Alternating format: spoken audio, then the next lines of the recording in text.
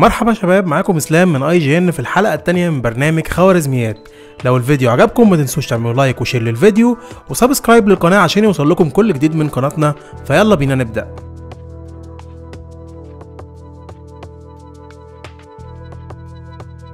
امبارح اتفرجت على XO18 والحقيقة المؤتمر قدم كل اللي أنا كنت متوقعه منه ولكن كان في ناس كتير حط آمال أكبر من كده بكتير عشان كده حسوا بالإحباط بعد المؤتمر. بالنسبة لي كان مستحيل إن مايكروسوفت تعلن عن حاجة جديدة في المؤتمر بعيدا عن مجرد expansion ل Forza ومحتويات جديدة ل Sea of Thieves و State of Decay 2 واللي حصل بالفعل. ولكن اللي شدني امبارح فعلا إن لأول مرة من ساعة أول عرض ل Crackdown أشوف لها حاجة عدلة. وواضح إن ال multiplayer شكله زي ما وعدونا بيه في الأول ولكن يبقى السؤال القائم هو حجم المحتوى في ال multiplayer هيكون قد إيه؟ ودي حاجة تقريبا مايكروسوفت هتسيبنا نشوفها بنفسنا لما اللعبة تنزل في 15 فبراير على Windows 10 و Xbox 1 وبعدها نشوف ال 13 استوديو الموجودين حاليا مع مايكروسوفت هيقدموا لنا إيه في 2019 و2020 لو عايزين تتفرجوا على تغطيتنا الكاملة ورأينا الكامل في المؤتمر استنوني يوم الثلاث في حلقة IGN Game Show الجديدة مع ياسمين.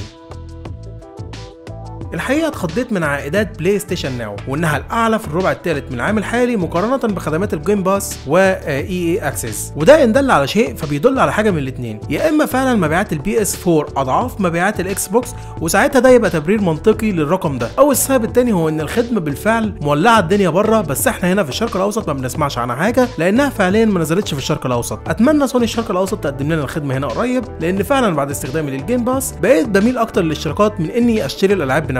يا ريت تقولوا لي في التعليقات تحت بتحبوا الاشتراكات أكتر ولا إنك تشتري الألعاب بنفسك؟ وأي وجهة نظر هي الأقرب لتربع PlayStation Now على عرش اشتراكات الألعاب.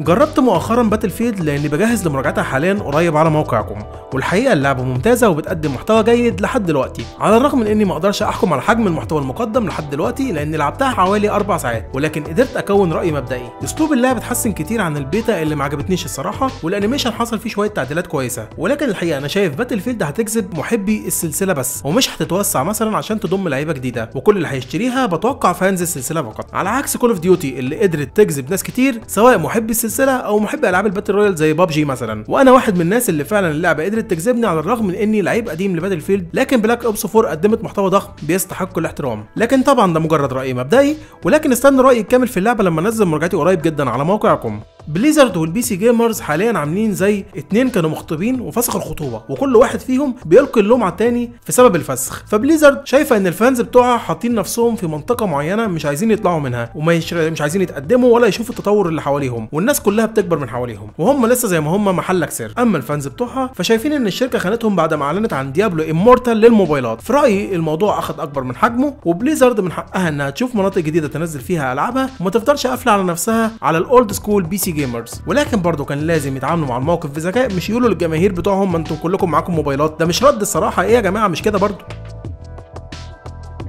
واضح إن The Game Awards كل سنة بيكبر أكتر وأكتر والسنة دي شكله هيبقى أكبر من كل السنين اللي فاتت. فمنظم المؤتمر بيشوق بطريقة غير طبيعية لل trailers والعروض اللي هتنزل في المؤتمر ده غير طبعا الجوائز. واللي خايف تبقى حاجة سنويه بعد كده لأنها أكتر حاجة بتجذبني لمشاهدته لأن ك gamer بعتبر The Game Awards عامل زي حفل الأوسكار المخصص لل gamers اللي زيي. أنا طبعا مستني أشوف عروض حلوة في الحدث السنة دي ونفسي بقى يا رب أسمع حاجة عن Dragon Age ولو إني حاسس إنه عامل زي عشم إبليس في الجنة. دي كانت كل الخوارزميات اللي معايا النهارده أتمنى يكون الفيديو عجبكم وأشوفكم يوم الأحد الجاي في حلقة جديدة. والمزيد عن عالم الألعاب والترفيه تابعونا على IGN Middle East